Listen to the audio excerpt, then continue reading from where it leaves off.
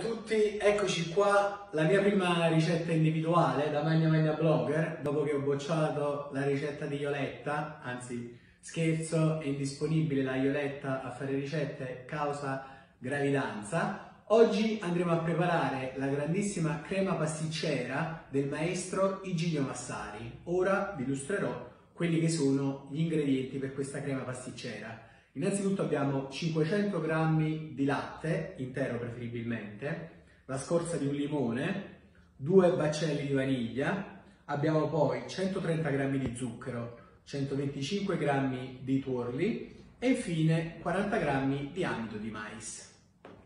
Andiamo a preparare la crema pasticcera, quindi versiamo innanzitutto in una pentola i 500 g di latte, dopodiché aggiungiamo la buccia del limone e infine anche i semi e i baccelli di vaniglia. Mi raccomando con le dosi perché la vaniglia è un aroma molto molto forte.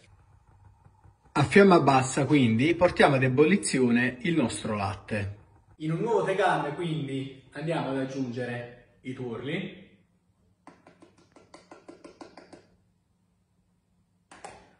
lo zucchero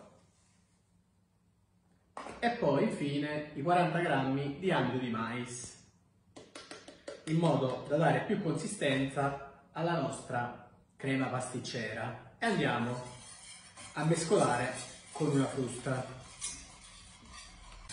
Quindi mescoliamo in questo modo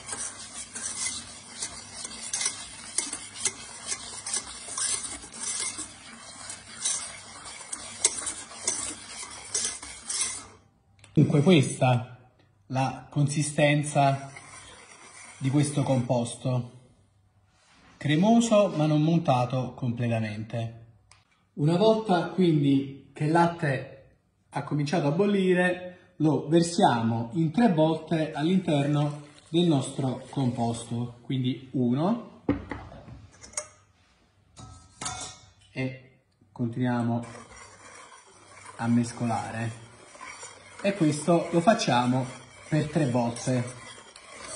Continuiamo quindi la cottura mescolando continuamente.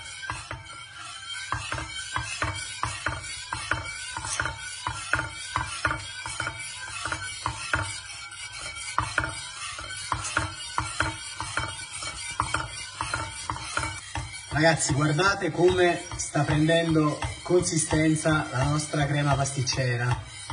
Questa ombra gialla che vedete al centro è appunto la crema che sta addensando. Continuiamo a mescolare intanto.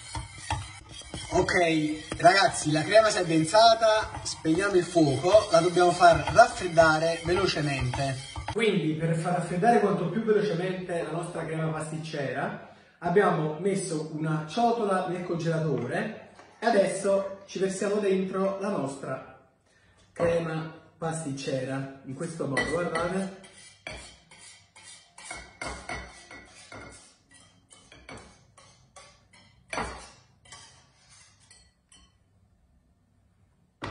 E continuiamo a mescolare.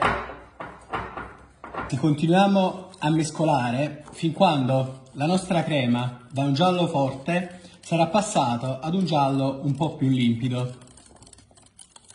Facciamo andare i bordi che sono ancora freddi e continuiamo a mescolare con la nostra frusta. Quando la crema pasticcera avrà raggiunto questo colore diciamo un po' più lucido è pronta. Guardate qua che spettacolo ragazzi. Pronta per le nostre zeppole di San Giuseppe di domani. Ovviamente nella mia rubrica non può mancare la prova assaggio di questa bellissima crema pasticcera che ho fatto tra l'altro per la prima volta. Guardate che consistenza, che spettacolo. Signori, buon appetito. Buonissima, la faccia tua, Iole.